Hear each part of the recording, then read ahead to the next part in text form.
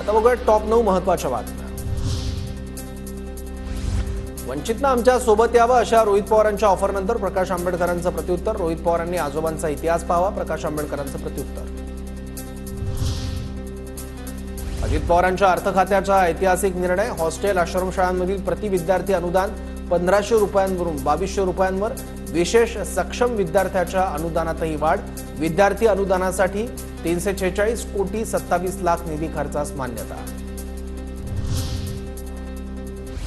पूजा खेडकर प्रकरणानंतर एमपीएससी फेरपडताळणीनंतर धक्कादायक माहिती समोर फेरपडताळणीमध्ये नाशिक आणखी एक दिव्यांग प्रमाणपत्र संशयाच्या भोवऱ्यात.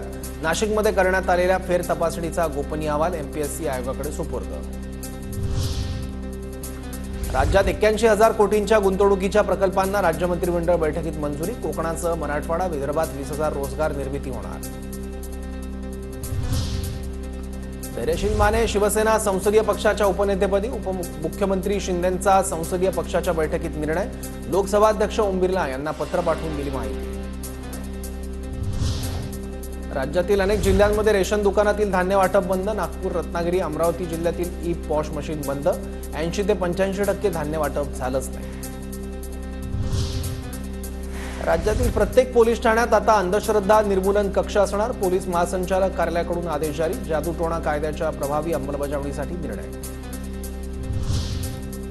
मराठवाड्यातील इनाम देवस्थानच्या जमिनी मालकी हक्कात रूपांतरित करण्याचा राज्य सरकारचा निर्णय. उपमुख्यमंत्री देवेंद्र फडणवीस यांचे आदेश.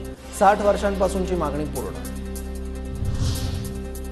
जळगाव एसटी विभागाला पांडुरंग पावला आषाढी वारीतून तब्बल दोन कोटी त्रेचाळीस लाखांचं उत्पन्न जळगावच्या अकरा आगारातून पंढरपूरसाठी एक हजार तीस बस.